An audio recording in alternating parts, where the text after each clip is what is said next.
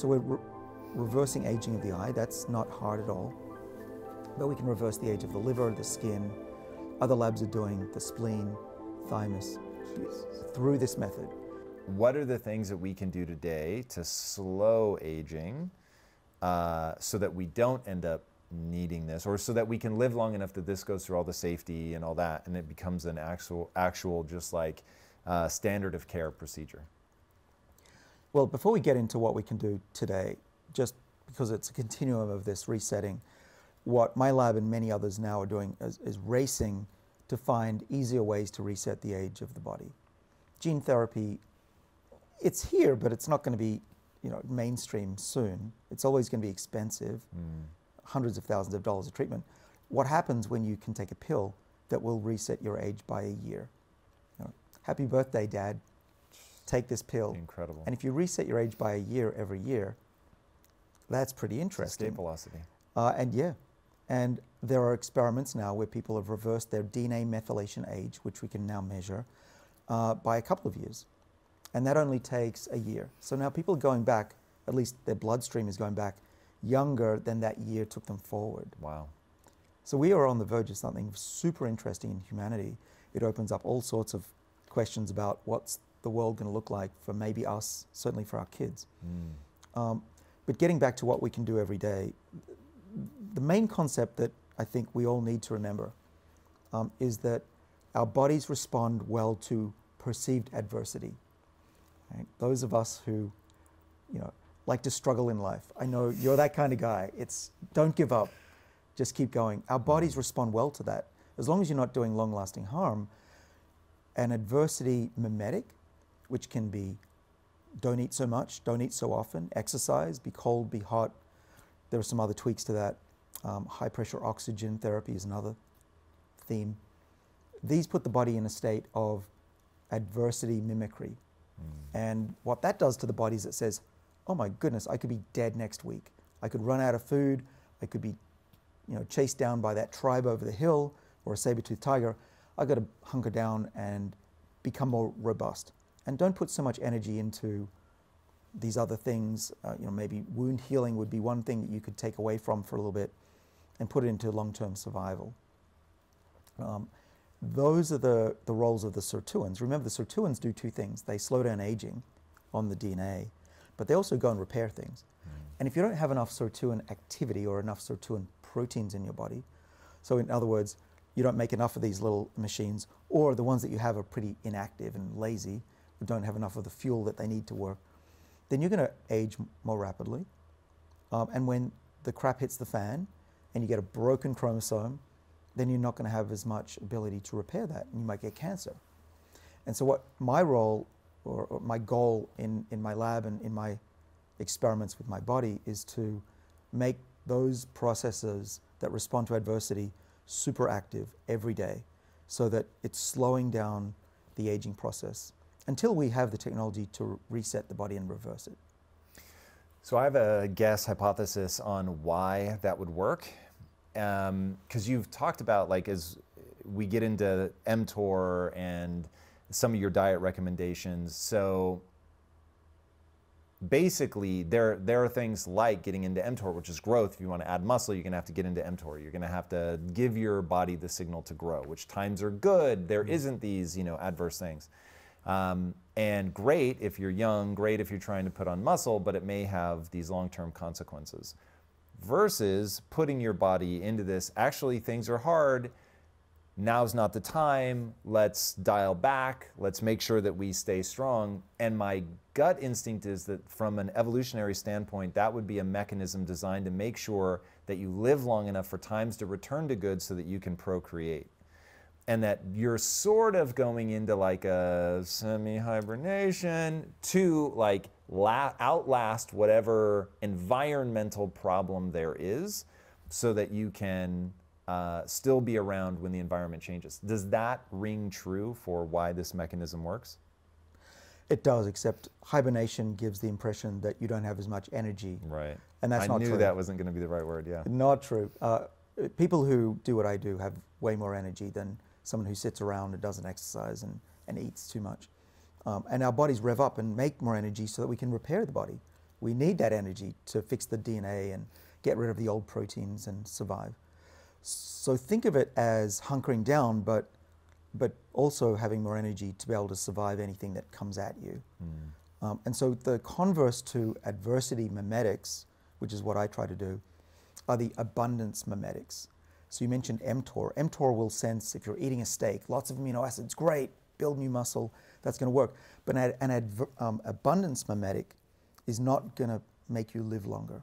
We know that. You can manipulate this mTOR uh, enzyme complex, we call it, let's call it a gene. Uh, the mTOR gene, you can manipulate that in a mouse and give it less or more of the mTOR activity. And when you do that, their lifespan changes. And the more you have of it, let's say you've now made it like the mouse is full of abundance, it'll live short and vice versa. It'll live longer if you turn down the activity of that gene. And you can do that. I mean, we can't genetically engineer ourselves easily these days. And I say not easily. Yet. You can, but not easily. Mm. Um, but what you can do is by eating things that are right, you can make mTOR believe that there's adversity and turn on the repair systems. All right. So, what does this adversity mimetic look like from a lifestyle perspective? So, you rattled off a few things really fast, yeah. but I imagine. Um, diet and exercise are probably going to be two of our most important things. And then knowing some of your views on supplements, I think we should get into that as well. Mm. Right. Well, I, I do talk a lot about the tweaks on exercise and diet, but, but in a very scientific and detailed way. Uh, sometimes I, I feel a bit silly saying, oh, diet and exercise. Why is this guy who studies the, the process of aging and the molecular basis of it talking about these diet and exercise? We, we've known that for decades. But what we haven't known is how they work. We just discovered that just by looking at thousands of people who live long and who don't. And okay, eat that diet, fast that time, uh, do that kind of exercise. We know those people live longer, but we didn't know why. So now we do. So we can tweak it. We can maximize the benefit of those lifestyle changes. But it's worth pointing this out because I, I think it's, it's empowering. So point one is we can measure our biological age. We can look at the DNA methylation, we can look at our bloodstream, I do that. And some people don't do that because they're scared of learning their biological age. What if it's too high? What am I going to mm. do? But information, knowledge is power. And the important point, number two, is that 80% of your longevity and your health in old age is controllable. And only 20% is dictated by your genes, the, the genome. The rest is the epigenome that responds to how we live. Mm. So that's why I'm all gung ho for, for changing your lifestyle because it's to, it could give you two more decades of life. And I'm not kidding. If you just do the five things that doctors recommend typically don't smoke, don't overdrink, get enough sleep, get a bit of exercise, and don't be overweight. If you do that versus someone who doesn't, you live on average 14 years longer. And that's just the stuff we know of. But there gets to be some really interesting stuff that is just now, at least, making my level of awareness. And I think that some of this speaks to this idea of the um, adversity mimetic. So when you pointed out that a type 2 diabetic, so diet induced, lifestyle induced diabetes, is going to live longer than somebody without diabetes if they're taking metformin. That's insane to me here's my hypothesis, and you'll tell us whether this makes any sense. So, insulin seems like the problem child here. And so, by elevating my glucose levels, I have to pump all this insulin into the system. The insulin is potentially damaging things somehow, some way. I don't understand the mechanism, but its overabundant presence causes damage to the cells in some way, shape, or form.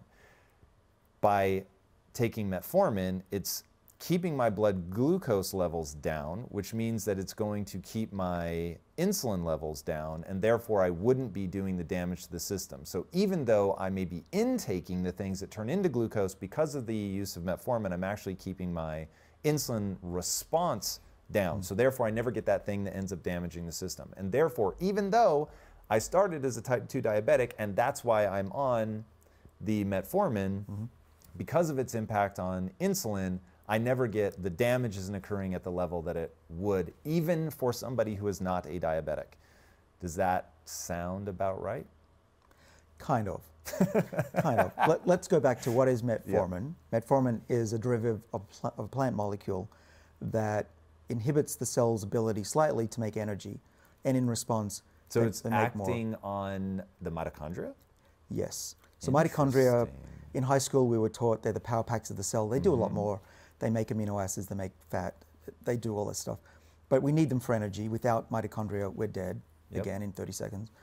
Um, and the way, and so I'm, I'm drawing this because they're, they're, like little bacteria in our cells. They float around and they make energy for us. In fact, like four billion years ago, uh, actually only one billion years ago, uh, mitochondria were free floating bacteria that were subsumed by us. It's crazy. So we have little pets in our body, and they have their own DNA, uh, which does get mutated over time. The reason um, metformin seems to work, one of them, is that it inhibits the ability of mitochondria to make the energy. So mitochondria are like a hydroelectric dam. Uh, there's water, but in this case, it's hydrogen atoms, not water, that gets pumped into a reservoir, which is between two membranes on the outside of the, of the, the bubble of the bacterium thing. So not, hydrogen atoms are really acidic. That's what acid is, lots of hydrogen protons. And when you get a lot of something, it likes to equilibrate. Remember that you go from a lot to little, mm. it flows. But there's a membrane in between from the high level to the low level. In, so internal is low, high is outside. And the cell puts this little uh, generator in between that outside space and the inner space. Uh, it's the outer membrane space and the inner membrane space. This is what we call it. And this little, little power generator sits there, and those protons shoot through a pore in that protein. And at the bottom is a, is a generator. It spins. Literally, it, the protein is spinning at thousands of times per second. Whoa. And as it's spinning, it's doing a chemical reaction to make what's called ATP, uh, adenosine triphosphate, doesn't matter its name. That ATP is chemical energy that we use to, to live, to make mm. things, to grow. Uh, and so what metformin does is that it reduces the, the, the ability of cells to uh, make that, uh, those proton gradients, it's called. And so you don't build up as much power and you don't make as much ATP initially. What does that have to do with glucose? Why do you give that to a diabetic? What is up, my friends? I have huge news for you about one of the most exciting and important projects I've ever worked on in my life. As you guys know, it is my mission to help teach people about how to build a mindset and the skills that they're gonna need to live an extraordinary life.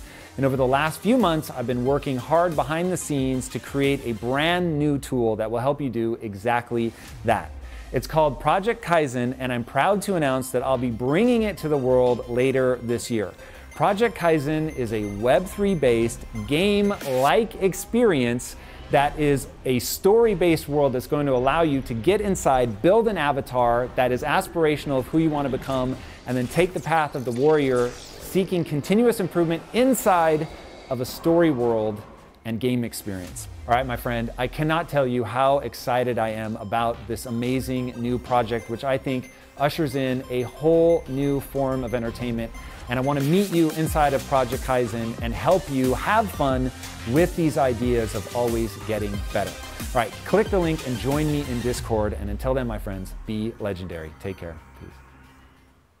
Well, what happens is that there's a process called mitohormesis. Mm-hmm. Hormesis is adversity. What doesn't yep. kill you makes you stronger. And mito is the mitochondria are experiencing adversity or perceived adversity. So mitochondria are freaking out. I can't make enough energy. I don't have enough ATP. Okay? And what gets activated is a protein called AMPK.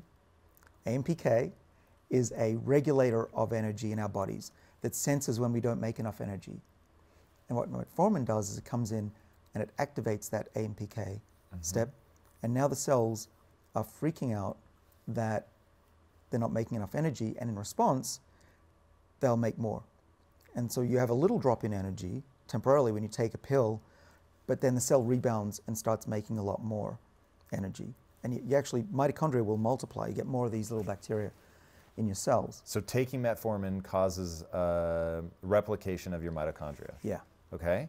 AMPK starts, but I still don't know how this ties into glucose.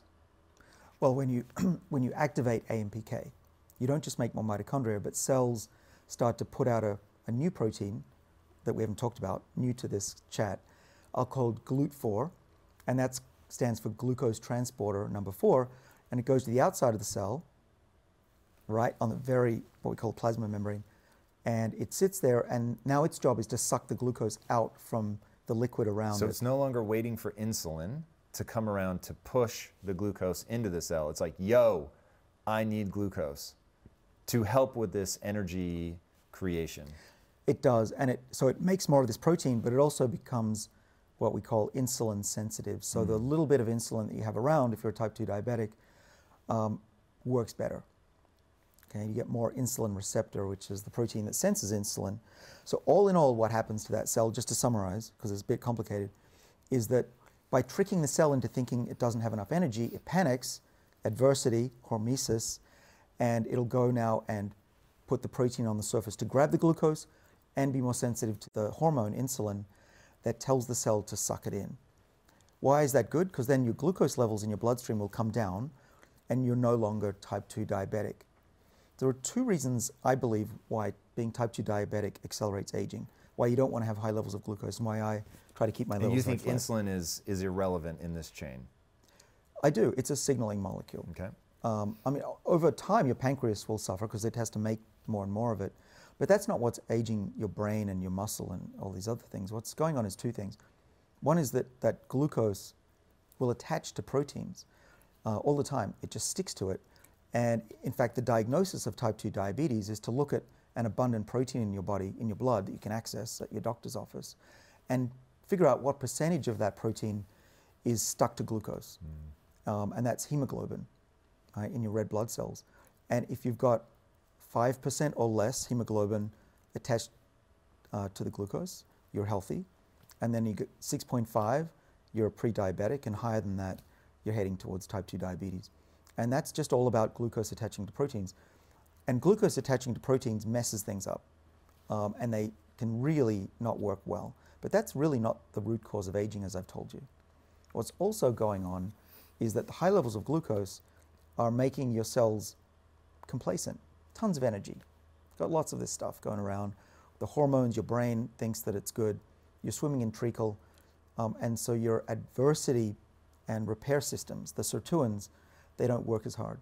And so your clock is ticking faster. That's why type 2 diabetics have other They diseases. don't work as hard, or they're lumbering under the weight of glucose that's stuck to them?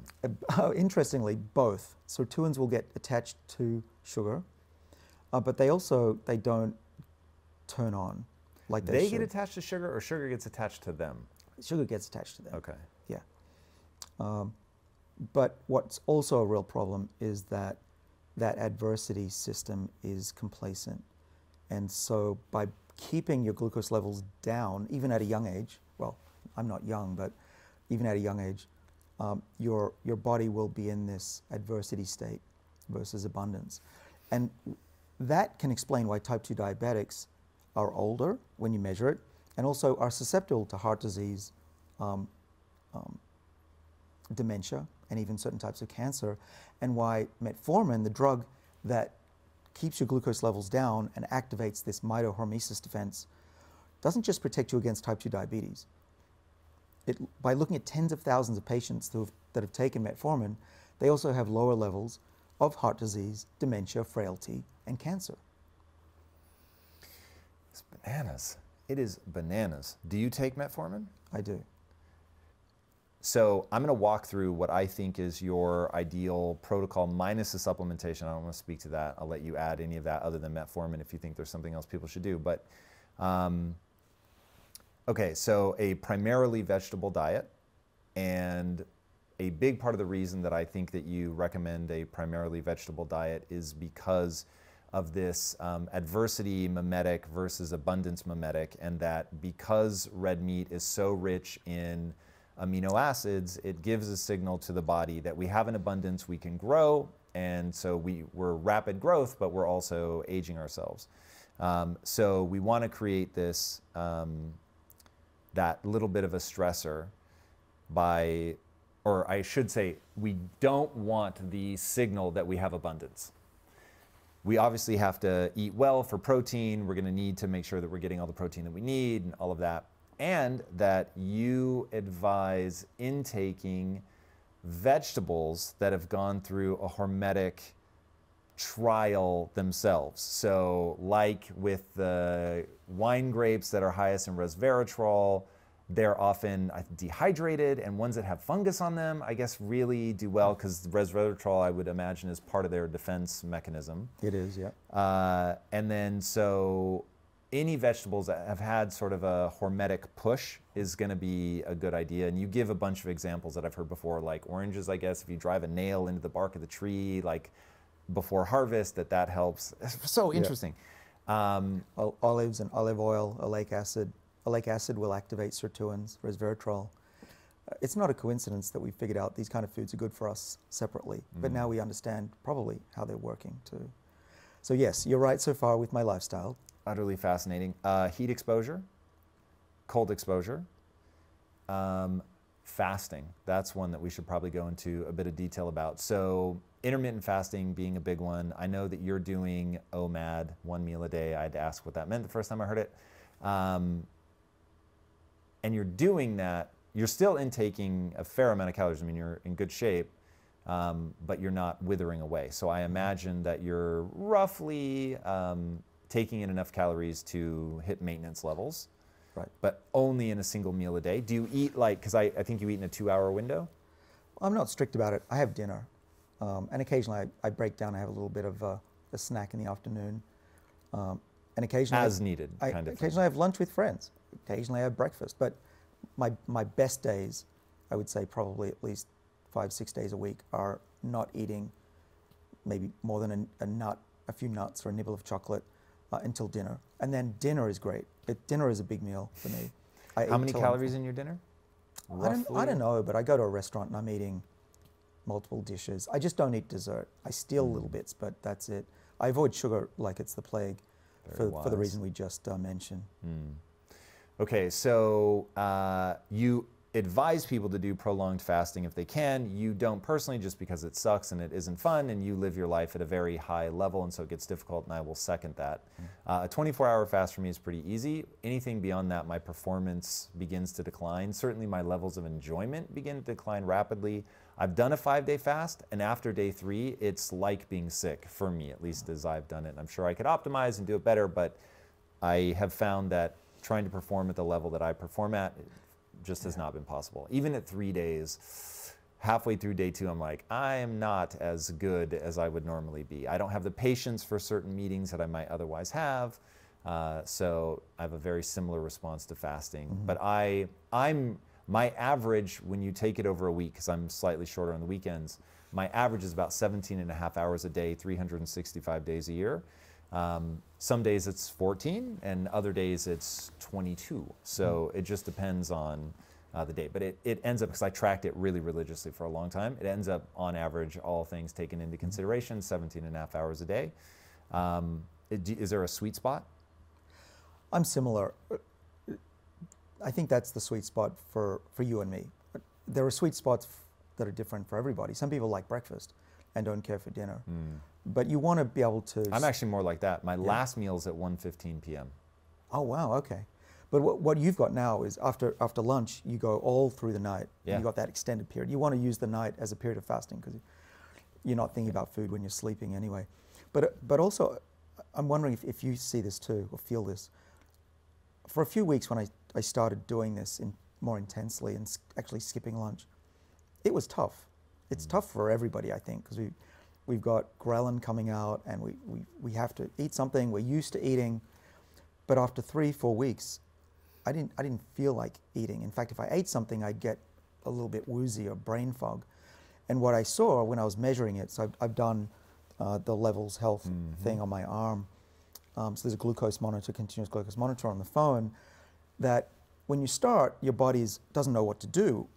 Hungry, you're losing glucose, you feel tired, you're hungry. But what happens over time, after three weeks, is you steady out, and your liver wakes up and learns that it needs to do a job, its job, mm. which is in part making sugar for your body, glucose. But our livers are much smarter than our eyes and our mouths, much, and and continuous. Your liver, my liver, if you measure it during the day, I showed you a graph earlier when, when we were talking. The, the line through the day is really steady in this zone, And that's why I can power through the day. I don't feel over energetic, I don't feel lethargic, I don't even feel hungry. But it, it, there's a really important point, which is it's individual. The other important point is that you just you need to get through the hard part in the beginning.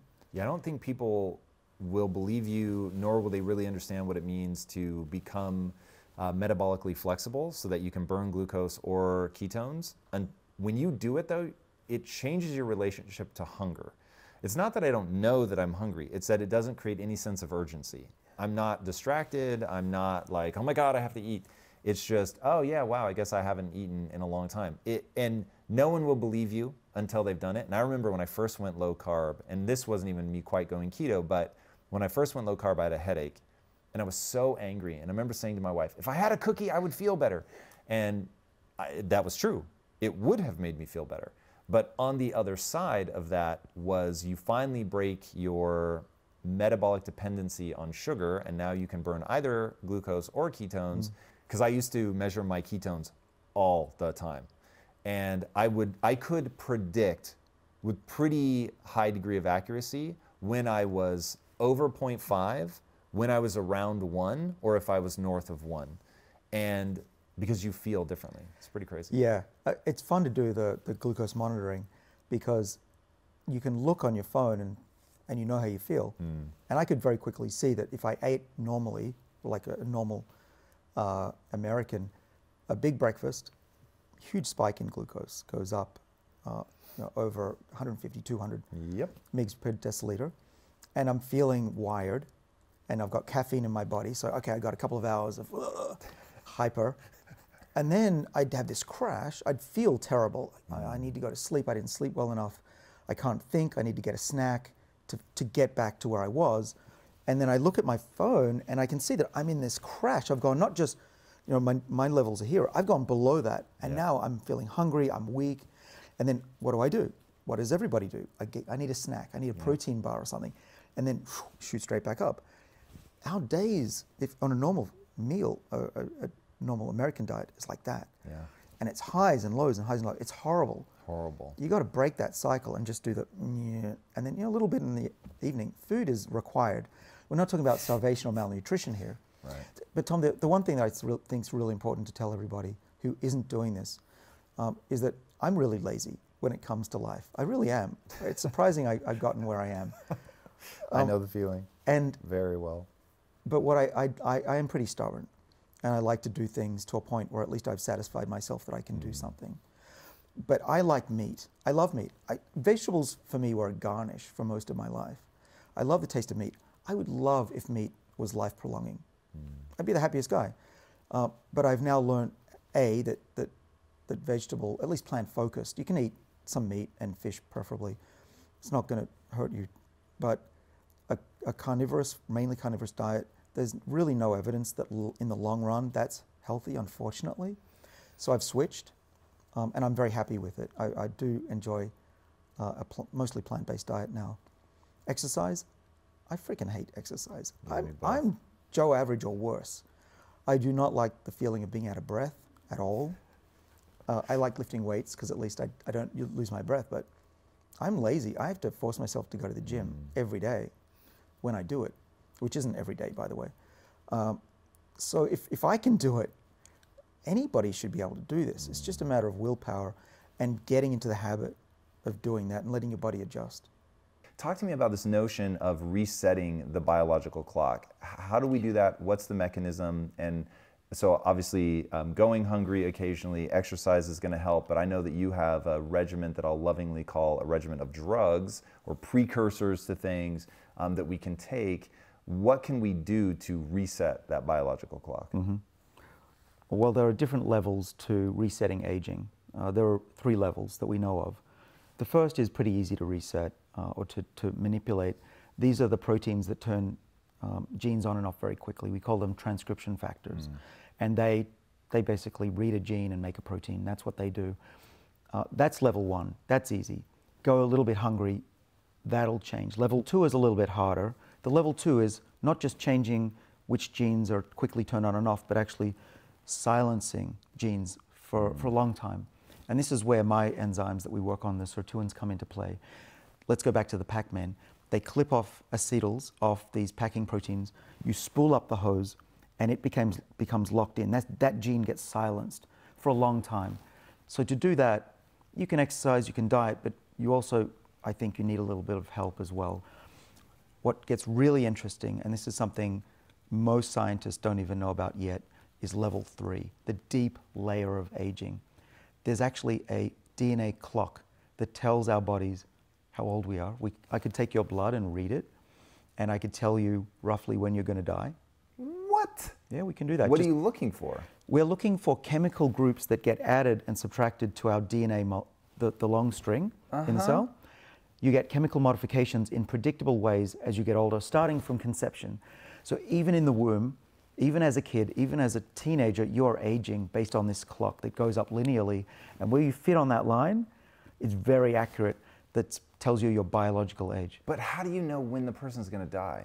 Is that just based You on just actuarial line. tables? Is it actuarial tables? Oh, the human average Ah. human lifespan is 86, and is that what you mean, or is there? Could you see something specific in my line that would say, "Ooh, you're headed for 68"? Sorry. Uh, no, it's not, not specific, but what it's based on is machine learning based on thousands of people's um, code of methylation on the genome and comparing that to their health and their date of death. Oh, fuck, that's so interesting. So, if you were to take my blood right now, what would you look for exactly? We would read the methylation. The chem- these are chemicals, hydrogen and oxygen, bound to the DNA, chemically, physically bound. Um, and those accumulate as you get older in very predictable ways. In fact, they're so predictable that we can use the same clock to measure the do- a dog's age and a human's age. Whoa, all based on methylation. Right. Okay, what causes methylation? Well, there are two classes of enzymes the ones that add the methyl chemicals and those that subtract it. Okay. How do I take a boatload of ones that subtract it? Ah, that's what we're working on. Now, here's the key level two aging reset, which we can do by some of the things that I'm doing in my life, Yep. probably you are too. Those aren't permanent changes. You can't just do that and expect that take, take one treatment and you go on living for another 10 years. Okay. Because level two isn't as permanent. It's somewhat permanent than level one, but level three is truly permanent. It, you could reset yourself 10 years and then go back and then wait another 10 years and potentially reset the clock again if you know how to do that. And we're just starting to figure out how to do that. Okay. So level one, diet, exercise. Cool, got it. Level two, uh, metformin. You taking metformin? Right? Okay. So I've talked about this on the show before, but explain what is metformin, why is it prescribed to diabetics, and now why is a seemingly rash of non-diabetic people taking it? Yeah, so there are three main pathways that regulate aging in animals and probably in ourselves. There are the sirtuins that I've talked about a lot today. There's one called mTOR, which responds to how much amino acids are in, how many amino acids are in your body. It will hunker down and protect the body the fewer amino acids it has access to. Okay. Okay, then the third is called AMPK, and this is the energy sensor. When your body has low levels of energy, it will allow the body to hunker down and protect itself from diseases.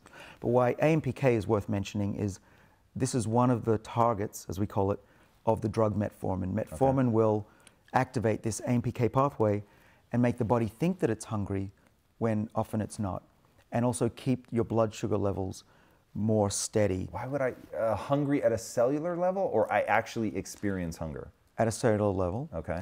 But it also has an, an interesting side effect is from, for a lot of people, myself included, it's a bit harsh on the stomach, so it also reduces my appetite. But what, what's great about metformin is that it's been in millions of people for a few decades. So we know the side effects. Um, they're relatively and low. sorry, really fast. So metformin is creating at a cellular level the sense that I'm hungry, and you're saying that from a hormesis perspective of a little bit of bad, it's like stressing the system, and that's why we think it works. It is. It's exactly doing that. And so that it actually helps the body respond in a way to boost the energy supply.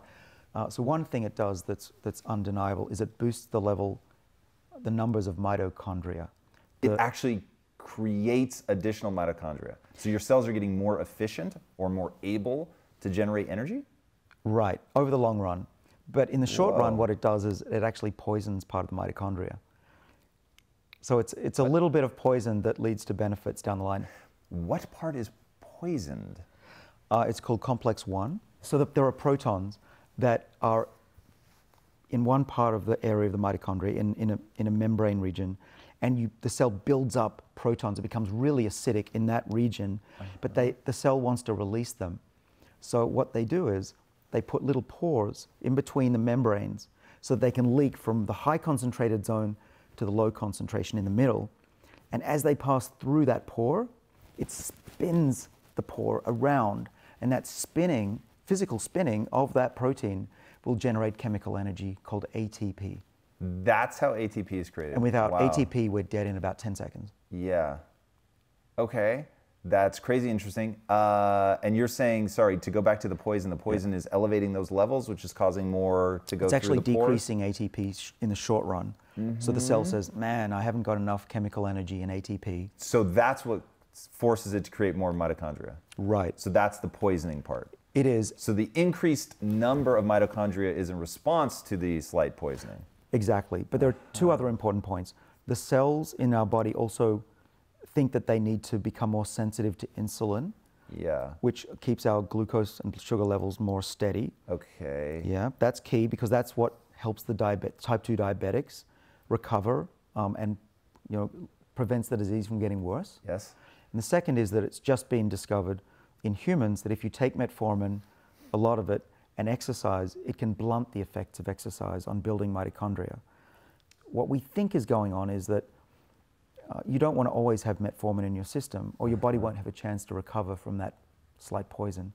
I'm not going to prescribe anything, I'm not a doctor, but we think it's be- better to take metformin on days that you're not exercising and recovering Huh.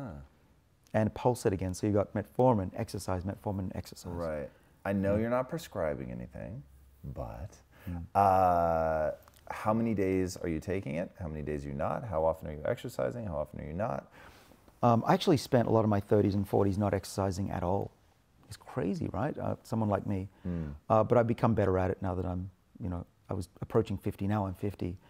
Uh, so I, I spend uh, about four hours in the gym on the weekend with my son Benjamin. Do like two hours a day?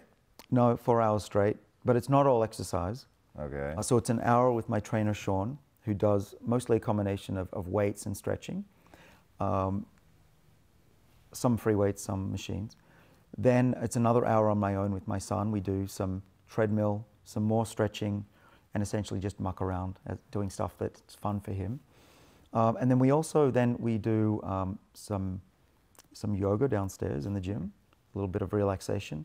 But the best fun part that I really love is at the end we do a sauna, hot tub, cold Yeah, bath, yeah, yeah, yeah. sauna, hot tub, cold bath for about an hour, and I feel fantastic after that. Talk to me about that. So, in your book, you go into cold exposure. You said you moved to Boston, it sucked coming from Australia, and you bundled up, and now you wish you hadn't. Um, why cold exposure? Is cold and hot both necessary? What's the Yeah. difference? Well, there, there are a few reasons. One is the high level view is that anything that stresses your body, puts it into a state of shock, is good in the long run. But a little bit of perceived adversity, being a little bit too hot, a little bit too cold, and especially the gradient between those two, which is why we jump from one to the other. The next point is that I've looked at the literature. And at first, when uh, I was prompted by my publisher to look into this scientifically, they said, you know, what about this cryotherapy? What do you think? And a couple of years ago, I had no idea that this was real. It sounded like bullshit to me. Uh, but I looked into it, and there are, there are two important things. One is cryotherapy or cold exposure will build up what's called brown fat. Uh, we didn't know brown fat existed in humans until about five years ago. Typically, it's across your back and in other regions. You can see it with a PET scan, but otherwise, it's pretty invisible. It just looks like fat. But brown fat's particularly healthy because it, it has a lot of mitochondria, and we think it also secretes little proteins that tell the rest of the body to be healthy. in what way to be healthy? Uh, we're not sure yet. We're not That's sure. Interesting. Oh But- man, I want the answer to that question. But it, it certainly revs up your metabolism and will burn energy. If you're looking to stay lean, having a bit of brown fat is all, is all good. So my, my friend Ray Cronise and I have written on this, and Andrew Bremer at, and at the NIH. We call it the metabolic winter hypothesis. And essentially it's saying that in our lifestyles these days, we're always warm. Hmm. I'm wearing this jacket. We sleep with the covers on. We turn up the heat. We never get exposed to cold unless we, we force ourselves to. And uh, we think that that's possibly largely responsible, if not, you know, maybe partly, perhaps largely, responsible for the, the di- diabetic problem we What? have. What? Okay, so if, if you're cold at night, you're going to burn a lot more energy staying warm. Yes. Turn on your brown fat. Now that's going to keep people lean. If we bundle up and, and we eat the kind of diets that, that uh, we see in the supermarket, that's going to be doubly bad for our bodies. Yeah. We're warm, we're not losing energy, and we're eating a lot more. Yeah, th- this is this stuff is so interesting. Okay, so what's your advice? I whatever you're about to tell me, no, I'm going to do it. So, like, wh- how frequently do I want to be doing it? Is it every day? What's that look like? Well, what I do is because I'm, I'm busy and I don't have a sauna or a cold tub at home, um, I subject myself to this stuff um, for about an hour on Sundays. Uh, and what I do is I spend about 15 minutes at 150 degrees Fahrenheit. Well, That's reasonably intense, but you get used to it. Uh, then we go into the steam room. Um, you know, we, we're sitting there chatting. It's, it's great. Uh, temperature's lower in the steam room because humidity is, is saturated. The roof's dripping on you, hot water. It's, Right. uh, but that, that I, I don't know if the steam helps, but I, I certainly love the feeling of being in there, and my skin starts to be healthier because, of course, it's cleaning itself out.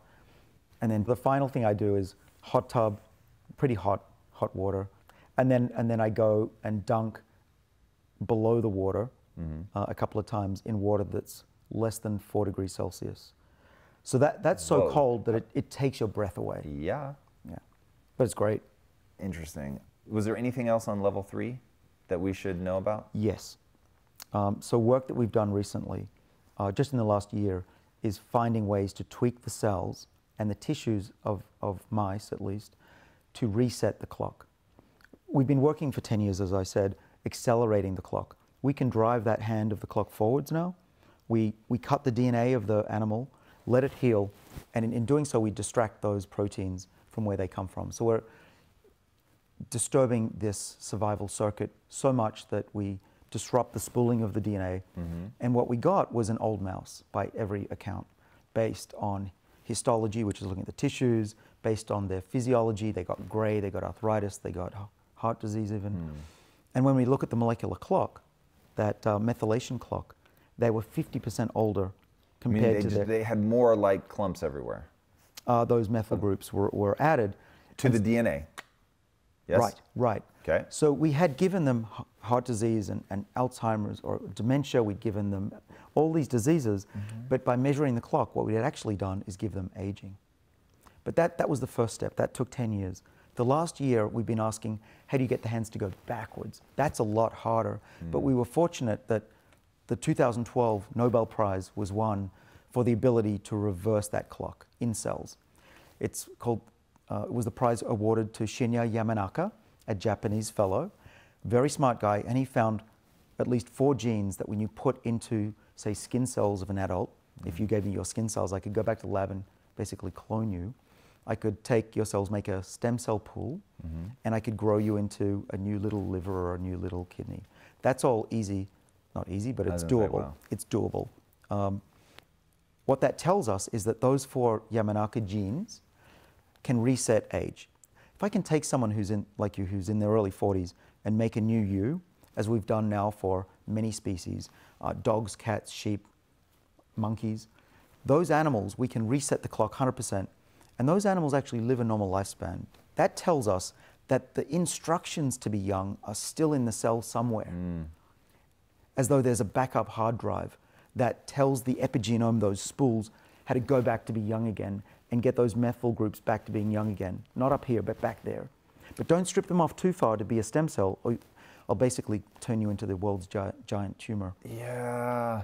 Uh, okay, so one, why do I become a tumor? Because a tumor is a cell that doesn't know to stop. Right. So what is it that you're breaking in that process that, that makes it so um, dysfunctional? Yeah. So in terms of the clock, let's just start with that. Shinya Yamanaka wound the clock so far back it went back to zero, back to midnight. That we do not want to do because the cells lose their identity, and that's the last thing we want to do. We don't want to go back to a Because it's original. dangerous to have a pluripotent stem cell in the wrong place in the body. Of course, it'll grow. It won't stop growing. But why doesn't why why does it become a tumor? Why doesn't it become a liver or a lung? Like I would get the problem Right. of having a liver develop in my brain, but I'm just saying like why does it become a tumor cell instead of an actual functioning liver? Uh, well, so when you go back far enough and lo- it loses its identity, it will just multiply into a mass without cellular identity. So there's something else going on that stops it from figuring itself out. Right. So in the lab, if we take a pluripotent stem cell and we want to make a liver cell or a neuron, a nerve cell, Yeah. we give it a bunch of chemical signals in what we call the niche.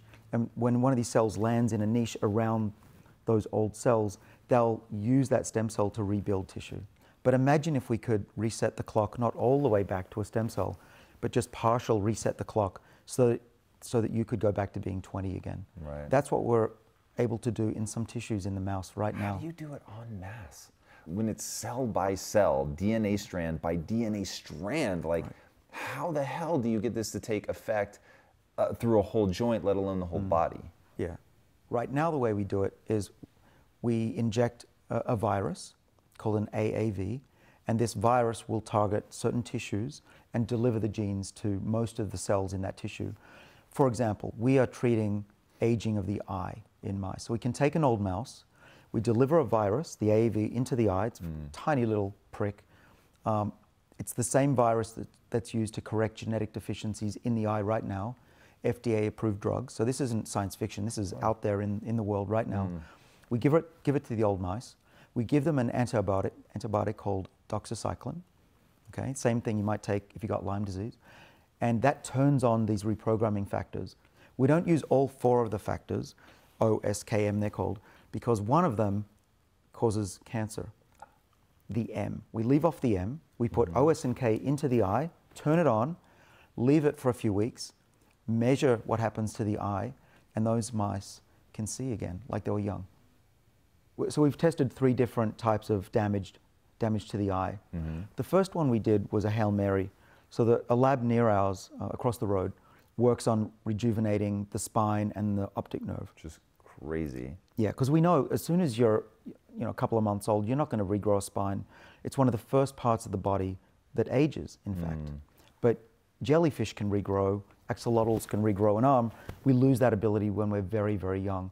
So we, we, the question was, if we turn the clock back a lot with our OSK genes, will those nerve cells be young enough to regrow back to the brain if we damage them? Hmm. And that was the experiment. They pinched the back of the optic nerve so that the nerves were defective and they started to die back towards the brain. Of course, the mice lost their vision. We then turned on our reprogramming factors. We now see that the nerves get young again, wind the clock back, and they regrow back to the brain. We could give ourselves the healing ability that we only had when we were embryos. And you start to think about what could this lead to if we can mm. do this safely, of course safe is the important word, across the body. Imagine one day you could have every cell in your body able to be rejuvenated like that. You cut yourself, you break a bone, you lose your, your mind, you, you have a dementia. You take a course of doxycycline for a few weeks and then stop, switch it off again, and you, you, you heal. If you turn it on at high levels, there's a mm-hmm. lab in Spain that has shown that you can get small tumors in some animals in the kidney. So we, we've been very careful to not just blast the cell with these factors permanently. We've titrated, or what we say, brought the levels down to very low levels and switch it off when we don't need it. But we have given mice uh, this virus throughout their body. We inject it into a vein and we turn it on. We've left it on now, expecting the mice to die. A year later, they're perfectly fine. Wow. So it, it appears to be safe, but of course, there's a lot more work to do. I, I'm a scientist and I'm developing drugs. I have, have to be very aware of the dangers. Sure. Please, n- nobody go out and try this at home at all until we know more. But the eye is a good testing zone because it's, it's protected, and if there's a problem, it's, sh- you know, it's shielded from the rest of the body. It won't go too far. But everything we know now is that it seems to be very safe, at least in the eye. Wow, this is crazy. So that is is there an element of getting better, improvement, human performance, or anything that um, you can tease us with? Well, we, we've actually uh, published results uh, that in mice, if you give them an NAD booster molecule that will turn on these Pac-Man enzymes called the sirtuins, those mice, when they're old, can now run 50% further. In fact, some of our old mice ran so far that the, the treadmill stopped because Yeah, mice we- are not supposed to run more than three kilometers. We haven't talked about NAD yet. Tell me what NAD is. What are the precursors? How do I supplement for it? Uh, so uh, there are a few on the market. Um, I, I don't endorse or sell anything, just by the way. Even if you see me online, that's not me. So that said, uh, there are, there's one called NR, which, is stand, which stands for nicotinamide riboside, which is a very early precursor to making NAD in the body. There's an intermediate from that called NMN, not to be confused with M&Ms. Please don't do that. That's not healthy. Um, and then the cell turns NMN into NAD. And you can take all three actually, and or, or each one of those three, and raise NAD levels in animals. And now we're doing, myself and many others are doing human studies, and we've seen that NR, and in my case NMN, does raise the NAD levels of older people and, and young people alike up to levels that we think you could rarely achieve even with uh, being a marathon runner. That's crazy. So, just to bring this home for people, talk to me about your dad and his uh, N of one experimentation with NMN. Yeah. So my father has been on the same regimen as me, resveratrol for over a decade, the red wine molecule. Um, he's been on metformin longer than me because he had he was a borderline diabetic, type 2 diabetic, uh, and he's also on NMN now. And uh, he seems to be doing great. He's now 80. Uh, when he was in his 70s, he was he was slowing down. His he was starting to say the same things twice. It- you know, typical 70 year old. Um, he's doing great now. He's 80. He's got a new lease on life. He started a new career Wow. down in Sydney. He's hiking the world right now. He's traveling around America, driving his elderly friend uh, around. His friend, unfortunately, ended up going to the hospital the last few days. So my, my father is taking care of his friends who he's seeing on the decline, and he's, if anything, improving every year. I'd love to hear more about resveratrol, which is something that I've completely written off until I started researching you. Um, it seemed for a red hot minute like it was real, and then it seemed to completely die. And I know that you got sort of caught in the middle of some of this stuff. Um, so, where has all the so forget like what pop culture thinks of it? Like, Right. what's the reality of it? Yeah, so resveratrol was a proof of concept molecule back in 2003, the first of its kind that could mimic caloric restriction, make mice healthy on a high fat Western diet. And it was, it was a great proof of, of something that we were trying to figure out. And it led to drugs that went into humans that looked really promising. Um, I got embroiled in a scientific and a, a corporate war. So in the case of Pfizer, they put out a scientific paper that said essentially everything that David has said is wrong. Okay, and then that was a great headline. Harvard scientists started companies is wrong. Okay, and, you know, and then I spent about a week in bed saying, "Fuck the world." You know, why am I doing this? Why am I working so hard for society if they don't care? But I worked my way out of bed. I thought, let's dig deep and see if they're right mm. or if we're right. And so for another three years, we, we really worked hard in my lab at Harvard to test whether we were right. So the question was, with this Pac-Man that spools the DNA, does resveratrol work on it, or is it working on something else? And that, to scientists, is really important. Sure. Because if it's not working on this, all the drugs that we're trying to work on this are probably working um, the wrong way that we thought. To cut a long story short, what we found and published in the journal Science, which is one of the top you can do, um, and I say that because it's validated science, is that we showed that resveratrol does bind to the Pac-Man and it is responsible for this. And we now have new information that we haven't published, but I'll, I'll tell your audience about it. We've made a mouse that is resistant to activation of the Pac-Man. Hmm. We can tweak the enzyme just in one amino acid in that protein out of about a thousand that blocks this movement activation. It's normally chewing like this, but if we add resveratrol to a normal mouse, it'll do that. To our mutant mouse, it's this. And which is better? What the do you mean? rapid munching? Rapid or- munching's better. Okay. Because the rapid was, res- we think, was responsible for the health benefits and the longevity. So what you're showing is by slowing it down, you cause real problems, and thusly, if you have resveratrol in there and get it munching really fast, that you've done something positive. Right, and our mutant mouse should be resistant to the benefits of resveratrol if we're right. But if Pfizer is right, then resveratrol should still provide benefits even though this enzyme Because is it's blocked. working on some other some thing. other way. Got it. So the mouse that could not be sped up, the mutant mouse, does not live longer when given resveratrol on its high-fat diet. Interesting. So that will be the, the punctuation mark, the FU We were right. um, but, but interestingly, the world has moved on, right? Well, I'm, I'm left to clean up the pieces. Right. Yeah, so, and when you say the world has moved on, you're talking about people like me who just assume that it was garbage and that it's not real. And Right. Okay, so um, you've said that the only supplement you take is vitamin D. Um, so, how are you getting resveratrol in the system? Is it a drug? Do you have to have it prescribed? Uh, well, I'm taking resveratrol. I have, um, And would we call that a supplement? sure. And it's commercially available? Uh, it is, if it's a legitimate seller Hmm. and it's 98 plus percent pure, it, it seems to be similar to what I take. And ballpark, how much do you take Um, I take a teaspoon into my yogurt. That's probably close to a gram every day? every day, yeah. Okay. Uh, resveratrol, roughly a gram. Are you taking NMM or is NMN or is that just your dad? Uh, both of us, Okay. And then um, metformin. right. Those three. Anything else? Those are the main things that Okay. I think are helpful. And I've been monitoring my blood biochemistry, so I. And you said you took an MRI of your heart, Right. which I love. Well- Um, what are things that we should be testing? Assume for a second I'm, I'm willing to go all the way, do any crazy test to know if what I'm doing is working. Um, what would you recommend? Well, I avoid uh, x rays and CT scans unless I have to, Sure. right?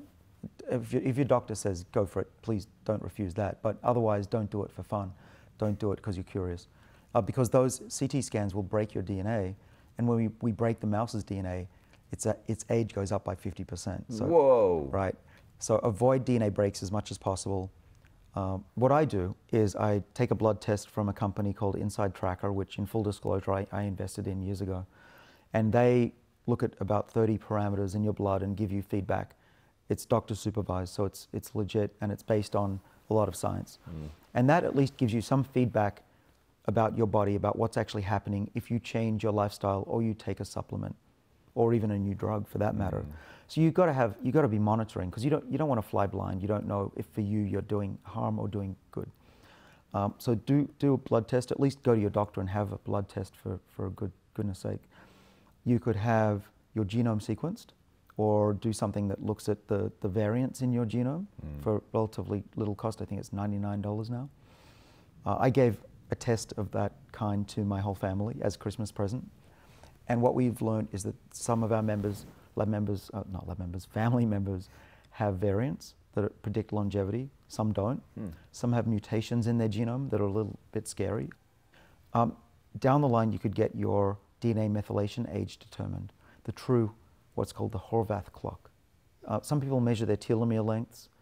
Um, Do you have to do a biopsy to do that, or can you do it from blood? Blood, blood test is fine. What is up, my friend? Tom Bilyeu here, and I have a big question to ask you. How would you rate your level of personal discipline on a scale of 1 to 10? If your answer is anything less than a 10, I've got something cool for you. And let me tell you right now discipline, by its very nature, means compelling yourself to do difficult things that are stressful, boring, which is what kills most people, or possibly scary or even painful. Now, here is the thing achieving huge goals and stretching to reach your potential requires you to do those challenging, stressful things and to stick with them even when it gets boring, and it will get boring. Building your levels of personal discipline is not easy, but let me tell you, it pays off. In fact, I will tell you, you're never going to achieve anything meaningful unless you develop discipline. All right, I've just released a class from Impact Theory University called how to build ironclad discipline that teaches you the process of building yourself up in this area so that you can push yourself to do the hard things that greatness is going to require of you. Right, click the link on the screen, register for this class right now, and let's get to work. I will see you inside this workshop from Impact Theory University. Until then, my friends, be legendary. Peace out. for a long time, I was really focused on living forever, and that was the dominant thing I thought about as I mapped out my life. And then about a year or two ago, it started to feel more important to recognize my mortality. And part of it was I, I had really lost faith that it was going to happen in my lifetime. And I definitely want it to happen. In researching you for this episode, I am regaining belief that it, we really may hit health escape velocity in my life. And so, in the first half of the show, I want to talk about um, why we age exactly, and you've gotten extraordinarily good at mapping that out with real conviction. And then in the second half, we'll talk about what we can do on an individual level to really slow that down. Uh, or, or possibly even reverse it. So I want people to stick with me because I'm actually going to start with a story and a quote, and um, I want to make sure that people know the map of where we're going. So first, the story on Christmas Eve, um, I was throwing a little party for my family, and it was a poker party. We had a dealer come, he was 40 years old, and the energy's high. Imagine balloons everywhere. It was actually a birthday party. It happens to be somebody's born uh, in my family on New, uh, Christmas Eve, and I go into the kitchen to get a drink, and my wife runs in and says, "We think the dealer's having a heart attack." She was like, "You need to get in there right now." And so I rush in to the room where this is all set up, and he's just sitting there holding his head like this. And I said, I don't think he's having a heart attack. I think he's having a stroke. And, you know, long story short, he ends up not surviving. Oh, no. And so he was in a um, coma for, I guess, five days, and, and they end up taking him off life support, life support, and he passes away. And I was like, this guy's 40. And so the question really becomes how do we get good at understanding where we're at biologically what is our real age not our as you say not the number of times that the earth has gone around the sun but how old are we really from a, a, the things that we can measure and are they giving us real information so that's the story now the quote this is you in your own podcast this is a quote pulled from your first episode in my lab now, we can control aging very precisely at will. We can speed it up as fast as we want in an animal and even reverse it. So aging is now controllable. We have the technology to control how fast we age. We can measure that, slow it down, and even reverse it. It's going to fundamentally change the course of human history. I have the fucking chills, man. So that's a big statement. It's a bold statement. And what I want to do now is walk through what do we know? How do we measure it? And then we'll later get to what we do about it. But I'm a big believer if you understand the mechanisms, you can make change. What are the mechanisms? Why, for real, why do we age? Yeah. Yeah, so w- when I wrote my book, Lifespan, um, it was a theory um, about why we age. And I, when I boiled it down to its essence, um, I realized and I theorized that aging was a loss of information. So in our body, we have two types of information when we're born or even when we're conceived. There's the one that we all know about. We can get our DNA read, that's the genome. But there's this other layer called the epigenome. And why is that important? Because if you just have DNA and there's six feet of it in every cell, uh, it's just a chemical. It's not going to give you life. What gives you life is the, the system that reads the DNA the right way. But we've got this chemical that's like a, a hard disk drive or, or flash memory that has these letters. And it- ATCG. that's it. Period. They're just four, le- four chemicals that get strung in different order. And the cell can write those down, can build those chains. And that's how we copy the DNA. I don't. I, I run the risk of taking us off track here, but I'm very curious. Hmm. How? Where does it get the letters? The the enzyme or the protein? Enzyme protein syno- uh, synonyms? yeah. Okay. So where does the protein go? Gra- is there a bucket of letters like I had as a kid that it like reaches into and grabs one of the letters out? There are. Yeah, they're floating around. And then the Literally ATCGs float are just around. they are. That's so We're weird. filled with the building blocks of DNA and proteins. One are the DNA bases, ATCG, they float around. And because they're, they're not just floating around, they're buzzing around. And so an enzyme sees probably 10,000 molecules in a second. It's really quick. And it picks the ones it wants. So, okay, I want an A. And right. it's it's basing it's looking at the DNA and it says you need a C right now and it reaches out grabs a C you need a G now it grabs a G that's literally what's happening Yes. that is insane I cannot believe I've never asked that question that you're freaking me out all right keep going And how does it know whether it's a G or a C to put down? Mm-hmm. Because it's copying the DNA. You've got one strand that has the ACTG, and that, that protein will look for what matches the G. And a G always matches a C, and an A always matches a T. So there are pairs of DNA that make the rungs in that ladder of that spiral, that double helix. Mm-hmm. But you generally you actually need a template. That's why we have double strands. One of them is a template, the other one you then match to that in the other direction. So it's not like my fly here, which is a zipper that goes up. It's a zipper that does that. as it's being built. Interesting. Uh, but we, we get that from our parents, right? Without any DNA, there's nothing to copy. Uh, getting back to the memory, there's something I, I think you'd like to hear because uh, you're very much into uh, digital and NFT world. It, it turns out that the best way to store memory now is biologically. In a little test tube, we can store all of human information. And we're, we're built, what we, but humanity is building the machines to write down those letters and store all the world's information in order, and then the readers to get that information back out. So why is that important? Because computers don't last for a thousand years, mm. and you can't fit all the world's data in a test tube. But technology is pretty much there to be able to do that. Whoa. Okay, so that's insane.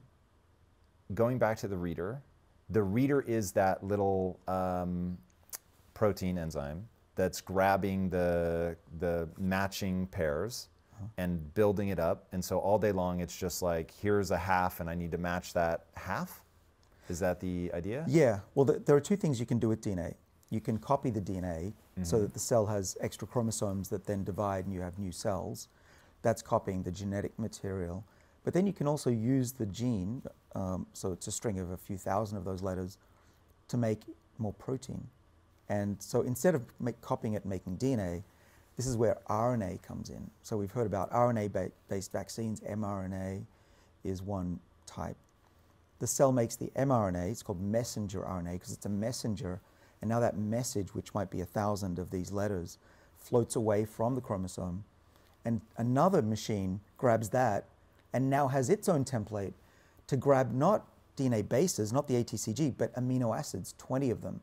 So it's programmed to look for these um, sentences, basically. So rather than an individual letter, I'm here for a whole sentence or a, maybe even a chapter. It tells me to do something.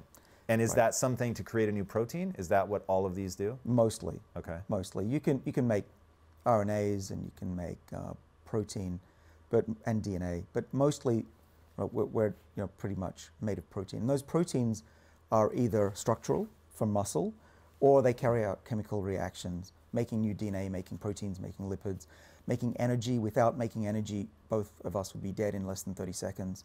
We need to always be making it. Mm. Uh, it's quite, uh, we're always 30 seconds away from death, as you mentioned. Life is tenuous when you get down to that level. Um, and so, what, what happens with aging is that the ability of the cell to know which genes to read goes awry those proteins that would normally turn on a gene that makes a brain cell know to be a brain cell get lost. Those proteins, instead of reading the brain cell gene, will go off and get distracted and start reading a liver gene or a skin cell gene. Okay, so now here's where I think we have to get away from metaphor, distracted, and now get into, and I know your theory quite well because I've gone through it so many times, but there's a part of it that I don't understand well, and that's the sirtuins. So since we haven't said that word yet today, um, talk to me or explain what is the when the the reading of the information begins to go wrong what happens that mm-hmm. causes that to go wrong? Because it's not like the the protein gets bored and starts watching baseball right? So it's not distracted in that way. But there actually is something going on that we can actually see and understand. Mm-hmm. what is that thing well, so the sirtuins, we have seven of these genes that make seven different proteins in our cells, each one. Uh, they're very ancient. So the sirtuin actually controls which genes are on and off. Okay, so, so the spooling of the DNA? Yeah. So, so that six feet of DNA is not just flailing around in liquid. That would not be life. What the cell does from conception and be before that. Tell people why that wouldn't be life. You threw that off, but that's actually really fascinating. So if the DNA is just a fully naked strand that can be read in its entirety, you don't have life. That no. not self-evidently clear. Why wouldn't that be life?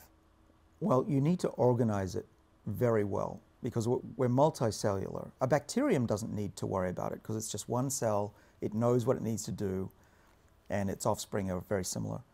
Our bodies are made of a trillion cells, uh, and each one literally is different. Right? Even if you measure an adjacent cell, it's behaving slightly differently. But if you take a brain cell, a nerve cell, compared to a liver cell, it's totally different. Mm. But remember, they have that same six feet of DNA. So what we need to do as multicellular organisms to survive is to get rid of, not rid of, but, but hide and compact and silence parts of our DNA that are not useful for that cell type. So the reader isn't told your job is to read and recreate liver cells. It's told read whatever is exposed. And there's some other mechanism that says your job is to hide everything that isn't a liver cell. And that's a sirtuin. The sirtuin is the one that hides everything. Yeah, and SIR stands for Silent Information Regulator. And that was the clue to this whole information theory of aging. It was right there in the name. Hmm.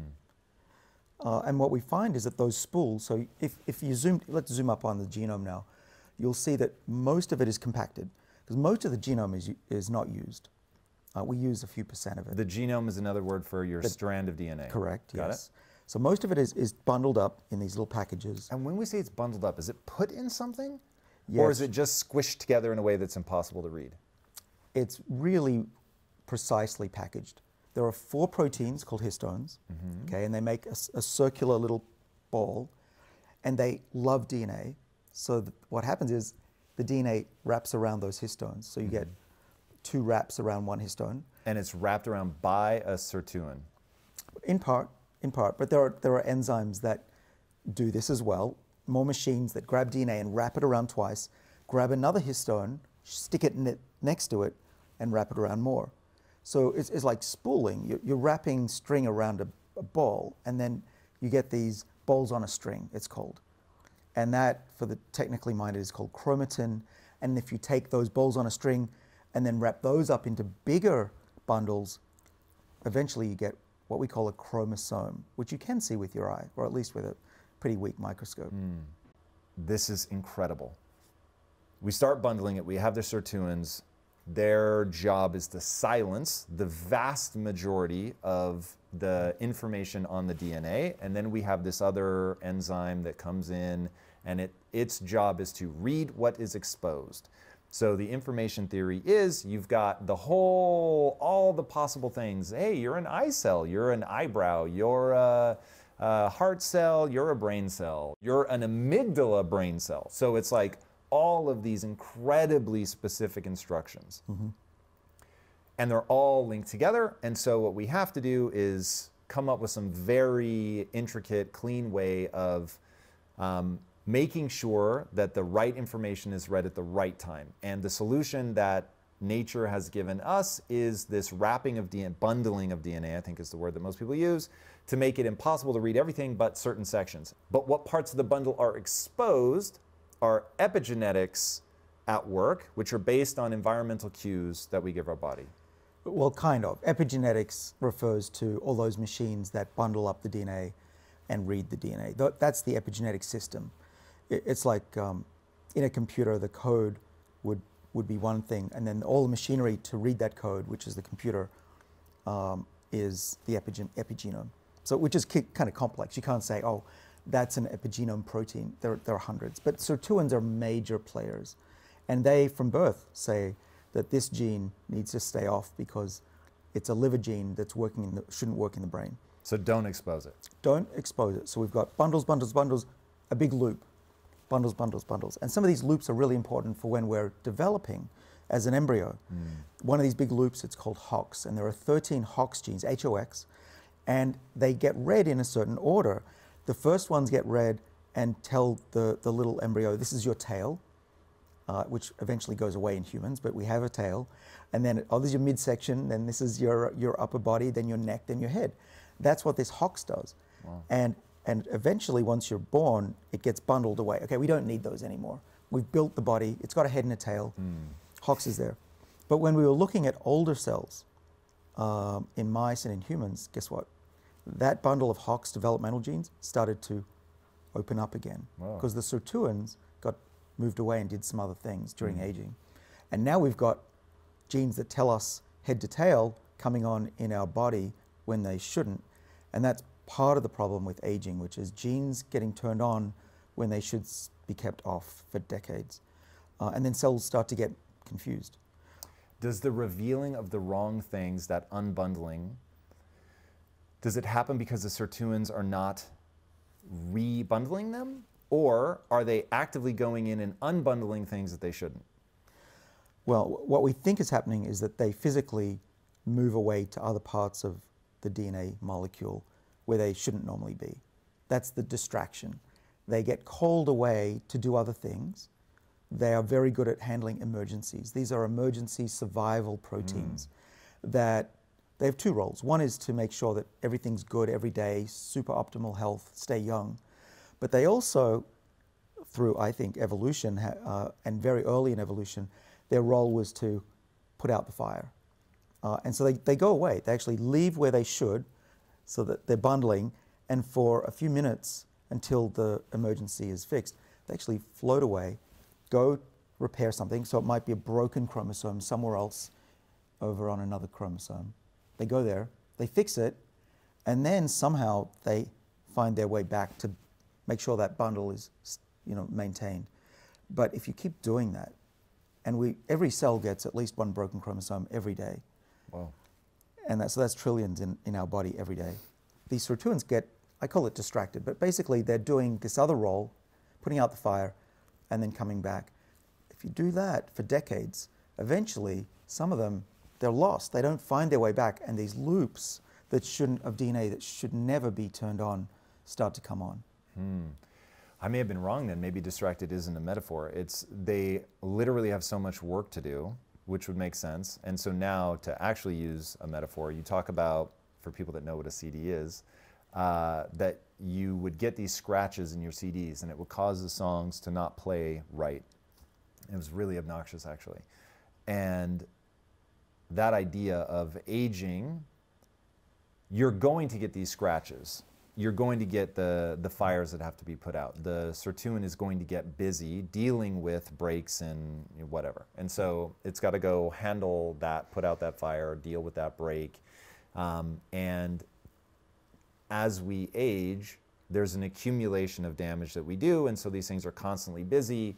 And therein lies the information theory of aging that the sirtuins are too busy to maintain the integrity of the bundling of the DNA in a given region, which will be different everywhere. But it's no longer holding to the integrity of just be a brain cell, just be a liver cell, just be a pancreas cell. And the readers are only instructed to read what's exposed. Mm-hmm. And so now, if your brain cell also has a little bit sticking up for skin cell, or tail or whatever, now all of a sudden you have a dysfunctional cell in your brain. That's aging, as I see it. That cells lose their identity. We call it X differentiation, which mm. is an mm. old theory, but this is what we, we've given a name to it.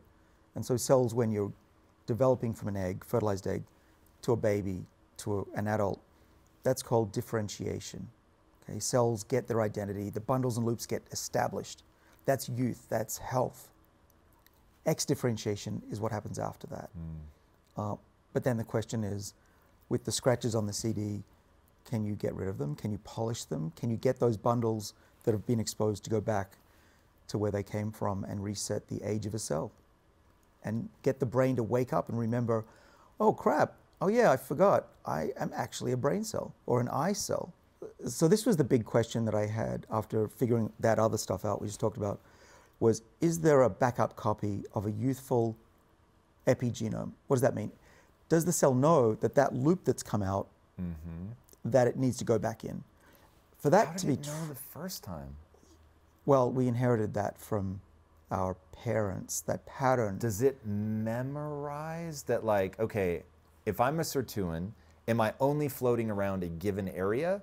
So I know, hey, this is how it's supposed to look. So we get some signal that it's like, okay, we're done growing head tail. Bundle those back, and now this is what it should look like forever. And how would it know that? Well, what, it, what the cell does, in part, is it put, puts chemical tags on regions that need to be bundled up. Known as methylation. That's DNA methylation, right? Okay. And you can also put methyls, these are little chemicals, hydrogens uh, on, a, on a carbon, You can also put them on those bundling proteins called histones, which we talked about. Beads on a string can be modified. But the most important one for long term maintenance of the epigenome is this DNA methylation. Uh, once you put a DNA methyl, carbon, hydrogen, hydrogen, hydrogen, on a DNA uh, molecule, which goes on the letter C, not all four, but mostly it's on the C, a little bit on an A, uh, then that tags that gene for a certain behavior. Mostly it means shut that gene down and leave it alone.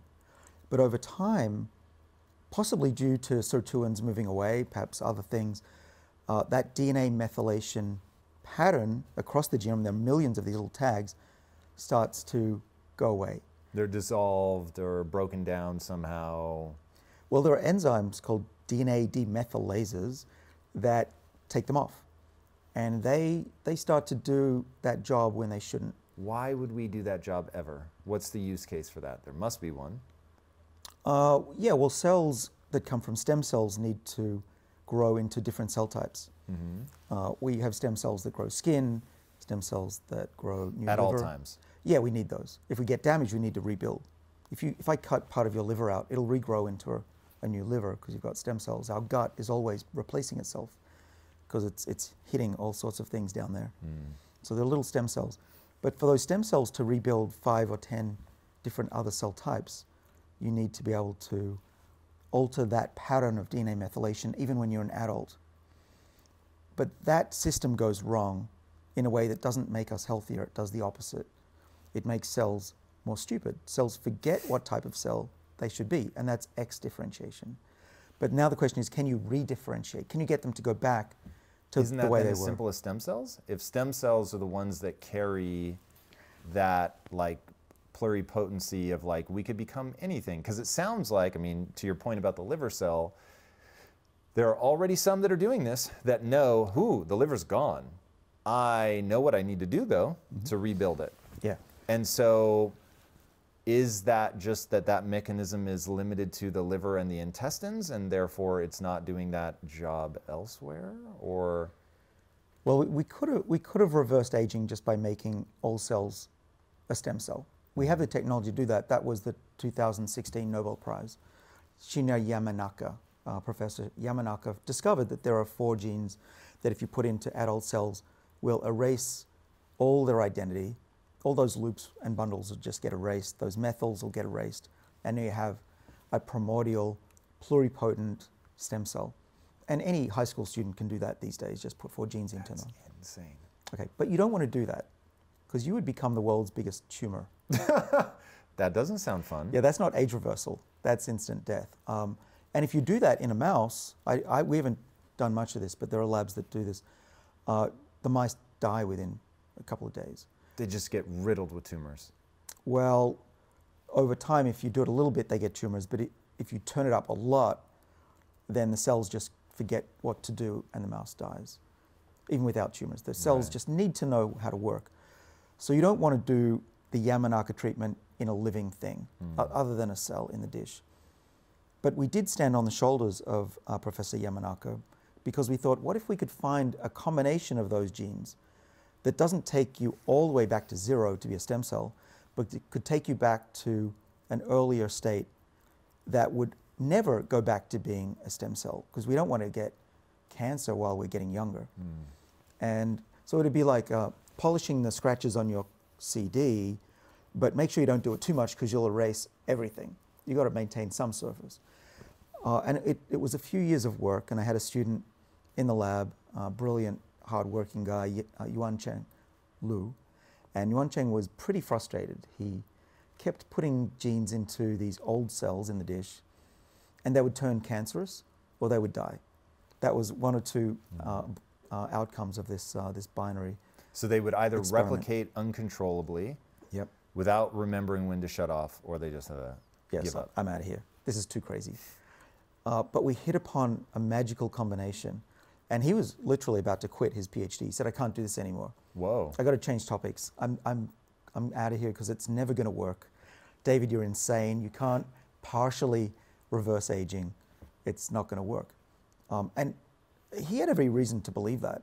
I mean, how crazy is it that the cell would remember, okay, this gene here needs to go back to that state, and this gene over here needs to do that. Hmm. How could there be a memory in the cell of youth? And we didn't know, nobody knew until we did the experiment. And the experiment that I said he should do before he quits was to don't use all four of these Yamanaka genes. And, and in fact, one of them causes cancer. We know that. So it didn't take too much of a genius to say, look, just leave out that gene. It's called c-Myc. Uh, and see if the other three would work. Uh, and no one knew if three was sufficient. Most people thought it wasn't. And he put those three genes in, and they're called O for OCT4, SOX2, S, and KLF4, OSK. And if you're wondering what do these genes actually do, they make proteins that turn genes on and off during development, right? Starting to see the theme here. And they work with sirtuins and those DNA methyls. All right, so he put in those three genes into old human cells in the dish, and they, they looked fine. They kept growing, they didn't turn into a tumor, they didn't grow uncontrollably, and they didn't die. And then when he measured the patterns of which genes were on and off, they resembled a young cell again. And that was a eureka moment in the lab. I would say. We could reverse aging in the skin in a dish. But the real experiment that changed everything was he then made a virus, a domesticated virus, we call it an AAV, uh, and he could now deliver those genes into a living organism, which in our case is typically an old mouse. And he did a very clever thing. He, he said, I want to work on the eye. His father had a biotech company that, that is trying to solve um, blindness, cure blindness. And I said, The eye, you kidding me? I know nothing about the eye. Blindness has never been cured. Uh, you know, how's, how's it going to be possible to deliver this into an eye? Let's just do the liver. I understand the liver. It's, it's easy. We'll just get it in. And he said, No, trust me. I've got the good feeling about the eye. I went, All right, fine. And I've, I've learned over the years if somebody really wants to do something, let them go do it. And mm-hmm. usually they're right.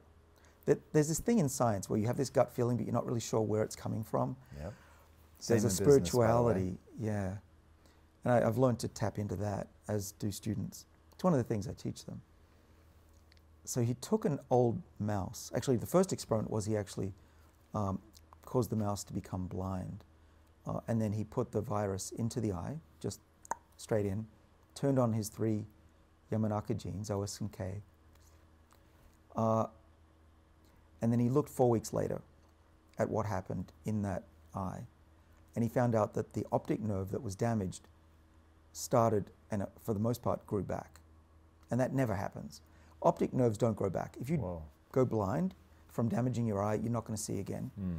Same with your spinal cord, same with your brain damage. The central nervous system with nerves in your body does not grow back. It's a fact of biology. And here was Wan Cheng showing he was able to do that.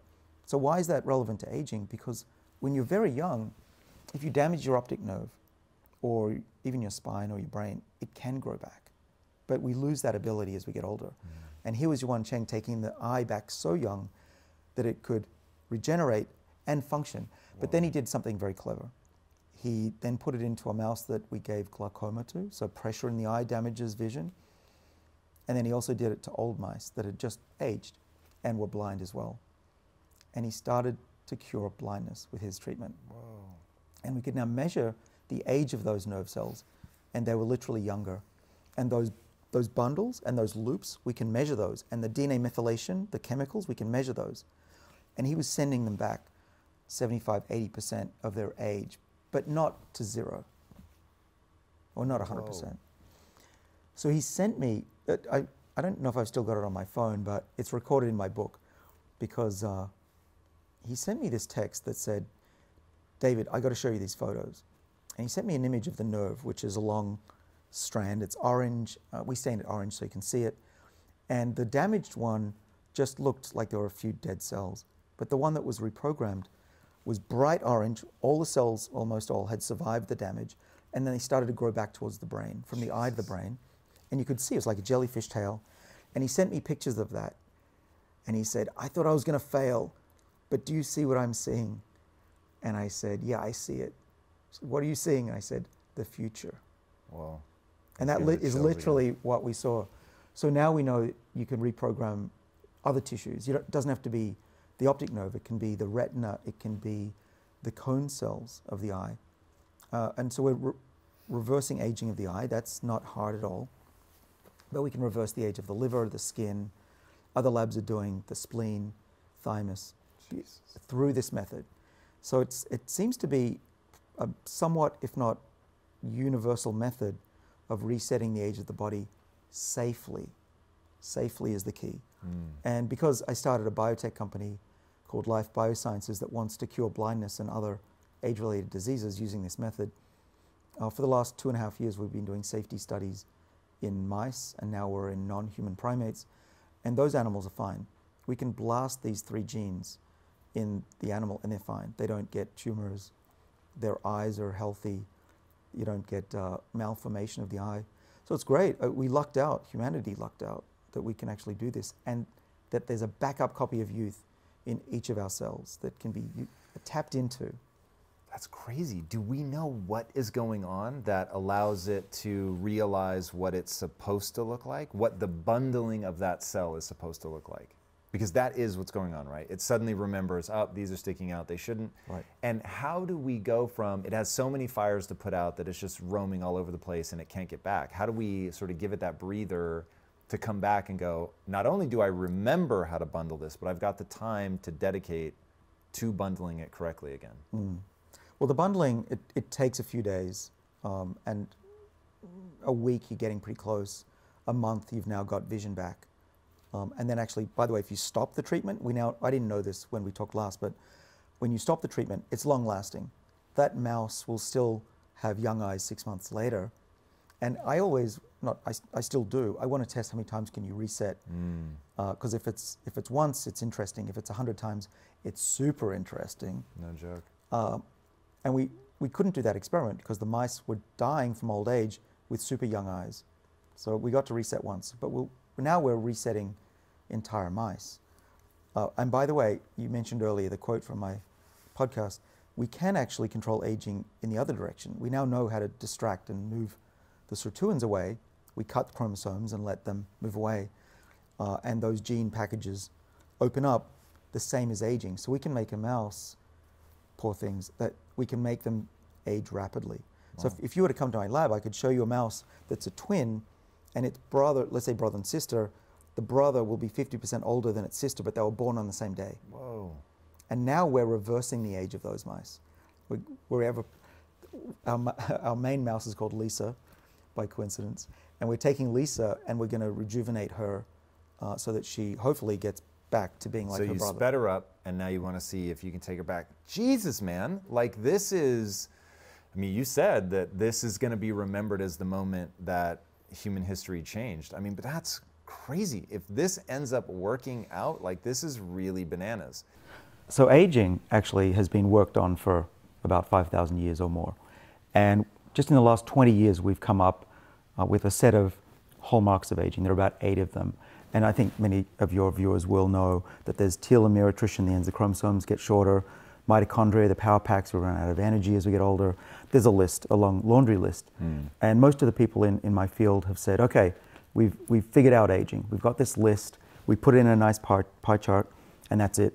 But what I'm saying is that why does all that stuff happen? It's not enough just to tick off what happens. You have to understand is there an upstream cause of all of that? Mm. And so in, in my book and in scientific papers we are now putting out for the scientific community to read as well, what we think is going on is that our bodies are losing essential information as we get older that drives many, if not all, of those hallmarks that we know exist. So what? In what way is the epigenome involved in this? How are we losing the information? Give people a quick little diatribe about the difference between genetics, which I think they get, Yeah. and then the epigenome and epigenetics and, and how that plays out. Yeah, yeah, for sure. It's not that complicated. There's really just two main types of information in our body that we get from our parents. The first is genetic. We all know about DNA and the four letters A, T, C, G. Uh, it's a long molecule in the cell, and it's a string of letters. That's digital. That's like the music that's on, on a DVD, those things we used to use uh, to store movies. Um, but there's another level of information that's above that in the cells, which is the reader of the information. That's called the epigenome. And that really is different because it's analog information, uh, in the same way that records and cassette tapes. They sucked. They were terrible at storing information. But the problem is we have an analog version of information, the epigenome, which controls which genes in the string of DNA are turned on and off. And why, that's why are you considering that analog? I don't think I understand how it actually works. Like I can imagine DNA sequences as just re- sort of repeating the ATCG um, code, but what is analog about the epigenome? This reading about it in your book is the first time that um, I began to imagine it in a different way. Well, it's very clear that, that if you just have four letters, that's digital. So we understand that. But the epigenome is the structure of how the DNA is organized. So DNA isn't just flailing around like a string, it's actually packaged up around proteins we call histones. And it's, it's like if you spool your hose in the garden, you loop it around and then you can put those loops into bigger structures. Then you get a chromosome, which you can see, any high school student can see under a microscope. That's, that chromatin structure, as we call it, is the epigenome. And so when, when the hose is looped tightly and spooled up, that's stopping genes from being read. So genes are off when they're compacted, but also if the cell needs to read certain genes, and a nerve cell needs to read the nerve cell genes, and the liver cell needs to read specifically the liver cell genes. And so they open those ones up, and now the cell can get access and read those. That's an analog system because it, it's varying all the time. It changes when you wake up, what you eat. So it is exercise. literally the amount that the um, the DNA is unspooled and the place in which it is unspooled so that it can be read. Right, and that's what determines the cell's function and identity, which we, you know, when we're born, we're 26 billion cells. Each one of those cells knows what it is and what it has to be 80 years later, it and its descendants. And over time, what I'm saying is aging is caused because cells lose their packaging and then eventually cells lose their identity. Disease ensue, ensues, cells check out, they become zombie like, and then Known our or- senescence, right? senescence, and then our organs fail and we die. But until recently, we had no idea why that was happening.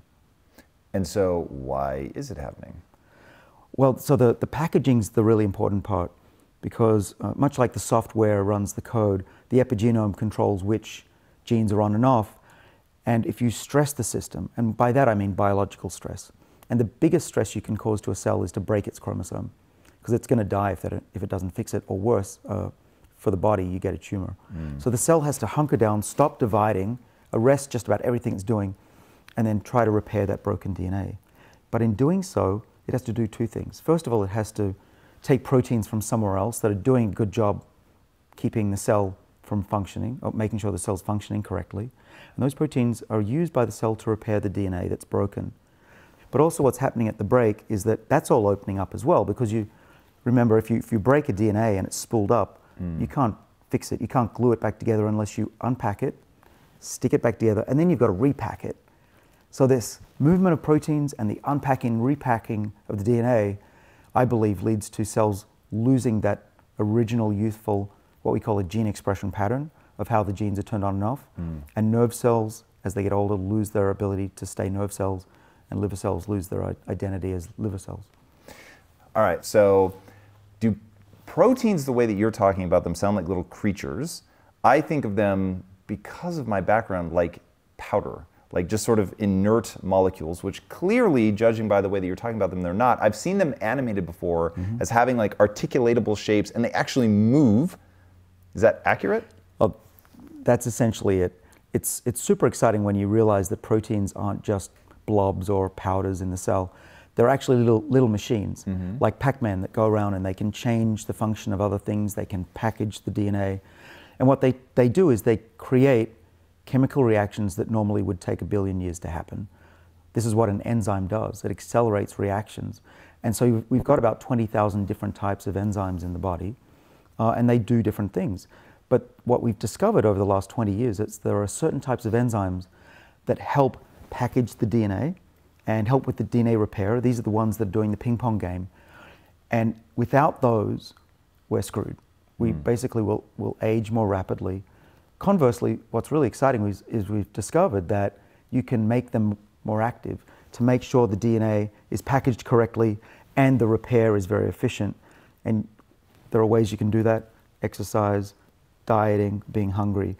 They allow these enzymes that control our body and make us healthier, they make those enzymes much more active. So instead of a Pac Man doing this, you exercise, you diet, take a, take a molecule that we work on, and it'll go around and fix everything much more efficiently and keep you younger for longer, we think. Why do you use the Pac-Man analogy, which makes me think of it's eating something? Is that what's happening? Is it eating cells that have a level of senescence, or is it uh, more Bob the Builder and it's going around tearing some things apart, putting some things back together? Yeah, it's, it's more like Bob the Builder, but it, I think a, a, good example for at least the enzymes that we work on called sirtuins that protect the body, they're, they're like a little tiny pair of scissors. They, they chip up, clip off uh, chemicals mm-hmm. called acetyls.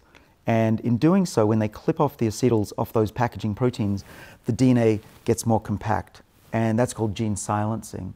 And over time, as we get older and through this DNA damage process, the sirtuins get inactive, they're distracted by DNA repair, and the packaging of that DNA, that, that hose spooling, starts to loosen. Hmm. And now genes that have no business being on in the brain come on.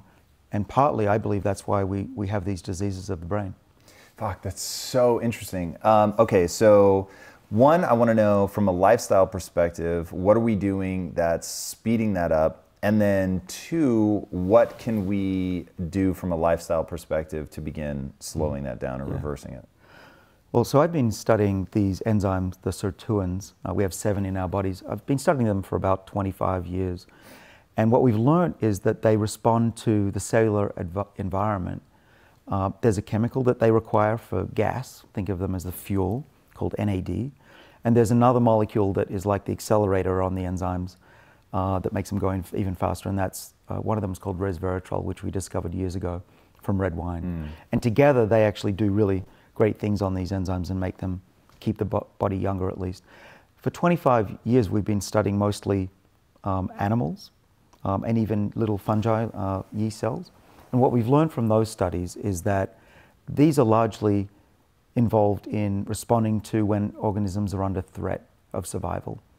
So, how do you make the body feel like it's under threat? Adversity. Uh, so, one is run a lot, or at least become out of breath. You know, a few times a week, your body will say, "Oh man, we had we had to outpace one of those saber-toothed cats again. Got to got to build up the body." Um, the other is to be hungry either a couple of times a week or every day, you know, skip a meal or two. Mm. And then your body will turn on these sirtuins, make more of that fuel, NAD, for the enzymes. And we think that's what's in part responsible for the health benefits of those uh, lifestyle choices. All right, one thing though that you talk about that I found really interesting is this notion of what may be good for you when you're young may come back to bite you in the ass when you're older. Yeah. So it's like um, the whole notion of hormesis that a little bit of bad is actually extraordinarily good, which is exactly what you're describing now. Get out of breath, do all this stuff. And so when the information started pouring out that the only thing across every known um, living organism that extends lifespan is to eat less, which you talk about in your own book, it feels like you're saying to do it for that reason. Just don't put as much stress on the system. But now I hear you saying, no, no, no. What you actually want to do is stress the system. Won't that stress of I just ran from a lion, fuck, I'm starving, yeah. won't that begin to stack up and become problematic? Well, actually, if, if you step on a snail, it's going to die. So there's, there's certain amounts of stress that, that you don't want to do. But what you want to do is get the body to fear adversity and the future but not enough to cause lasting damage or the unspooling of the DNA that'll lead mm. to disease and eventually death. So you've, you do not want to overdo it. You want to be a little bit puffed, you want to be a little bit hungry, but of course, starvation, malnutrition is not going to make you live longer. So it's a fine line, and what we've learned from many animal studies and increasing numbers of clinical trials in humans is that you want to pulse it, let the body recover, not constant. We used to make animals go hungry all their lives, and it worked but it actually works better if you let them recover and i think that's that's the secret. Uh, then let's really dive into that. So i'm guessing you're talking about where um, animals were denied something like 20 to 30 percent of their caloric intake for very long periods of time. Is extending their life by what like 30 percent yeah. or something? Um, so super interesting. But you're saying that if their caloric intake over a long period of time is roughly the same of an animal that's just allowed to eat until it's satiated that if it's done in a pulse pattern of hunger and, and almost overfeed, yeah. um, they actually have the same benefits as the animal that has a chronic deficit of calories? All right, well, well let's be clear. Nobody knows what the perfect diet is, sure. even when it comes to fasting. It's all largely based on rodent studies. So, what I can tell you about the rodent studies, which I'm very familiar with, is that if you take a rodent and reduce its calories by 25% for its whole life, it will live longer, 30%, but it'll be really miserable and aggressive. Uh, and that's true for us as well. I've tried calorie restriction for about a week and I gave up. I was pretty angry. But what we discovered, our, my colleagues um, discovered, is that if you, it's not just what you eat, it's when you eat that's mm. important. And what's been found is that if, as long as you have that period of hunger um, in a mouse, so you can feed them every other day, then they can gorge themselves as much as they want. And they do. They eat about 90% of what a mouse having free access to food would eat. Uh, but they, they have the same longevity benefit as a mouse that's always been hungry. And if that's true, what that means is for us is that we can enjoy life as long as we have that period of hunger once a day or maybe twice a week. And I believe the only reason we age, um, you know, we could live for a thousand years otherwise. The only reason we age is that our repair systems become complacent. You mentioned that what, what is beneficial for you when you're young come back to bite you when you're old. What we think is that these repair systems are very good when we're young. So the idea is it's called antagonistic pleiotropy, and I think it's right, and that is that we evolve to stay healthy and alive and fit till we're 40, and then the, the forces of natural selection decline after that because we've essentially bred, right. we've often had children, but we don't need to stick around beyond that. And building a, a body that will last a thousand years is pointless at that, you know. So most species only live as long as they need to to reproduce, and then a little bit more. If you're a mouse that could die within two years, they only build a body that lasts two years. If you're a whale that has no predators, you can live for a couple of hundred years. That makes more sense. Why, why does the whale live for a couple hundred years? Like, I would say it's pretty safe to say certainly um, at some point in our past we became a pretty clear apex predator. It's not that things couldn't take us out, but I mean, yeah. by and large, obviously look at, at how far we've come. They didn't. So why would we only live to 40? Is it that whales continue to breed and be yeah. um, useful in that sense? So that's really super interesting, and very few people talk about this. The reason is that we were not at the apex of the food chain until recently. But in a world where we typically would die from starvation or from war, mm. a lot of men didn't make it to 40 because of that. We were at the you know, middle of the food chain. Only now we, we actually we barely have a chance of dying before 70 or, or 80 mm. unless we're unlucky. You know, give us another 5 million years of evolution, we could evolve 200 year lifespans. That's what should happen if evolution continues. A whale has been at the apex for about 30 million years. Mm. And they've been allowed to evolve those long lifespans. We are just like them. We share most of their genes. They're warm blooded, they produce milk, they're conscious. They're basically us in the sea. So anyone who says we've reached our maximum limit doesn't know what they're talking about. You and I have to eat 30% more calories every day mm. just to make our normal amount of ATP. And you go, well, why would I do that? Well, it turns out generating heat is what those calories do. And you and I are warm blooded animals.